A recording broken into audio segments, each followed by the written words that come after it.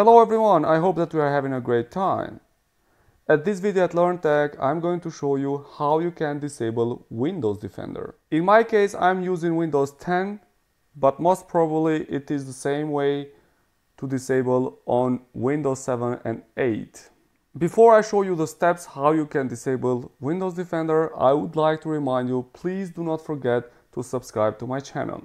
So let's start now. To disable Windows Defender, we need to go at search and we need to search for settings and by writing settings here at the search and then we open settings. From here we choose the options update and security. Now here on the left we have the settings regarding Windows Defender. We click with it on it and here we have the possibility to turn off real-time protection. So by clicking on this button here, it will turn off Windows Defender, but I want to tell you that this will disable Windows Defender for this time session when we are logged in in Windows 10. After we restart the computer, it will turn on automatically. In order to disable completely Windows Defender, we need to do another step which will involve group policies. So we go back to search and we search for group policy and it will show us this settings here regarding group policy.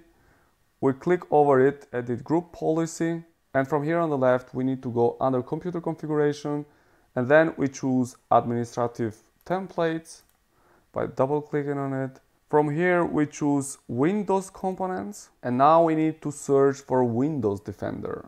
So here we are, here is Windows Defender. We double click on it and then on the right it will show us some of the settings that we can configure about Windows Defender. We need to choose this setting here which says turn off Windows Defender and we double click on it. And from here we have three options. One of them is not configured the other one is enabled and the last one is disabled. Here you have a description regarding these options. We need to choose enabled which means that if you enable these policy settings Windows Defender does not run and computers are not scanned for malware. Once you are done with it, you need to go and choose apply. So after we choose enabled, we click apply and then OK.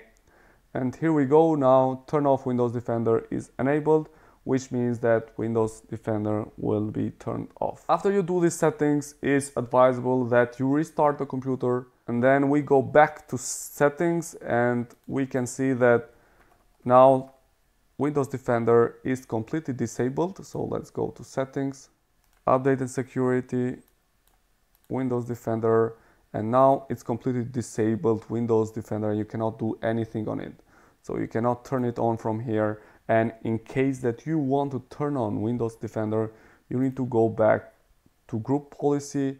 And from here, you double click on turn off Windows Defender and then you choose disabled and then you choose apply and OK and it will activate again Windows Defender. So basically these were two ways how you can turn off Windows Defender. These are the most used ways and usually are really efficient in these cases. So basically that's all that I wanted to show to you guys. Hopefully you like this video and please do not forget to subscribe to my channel. Wish to you all the best. Thank you.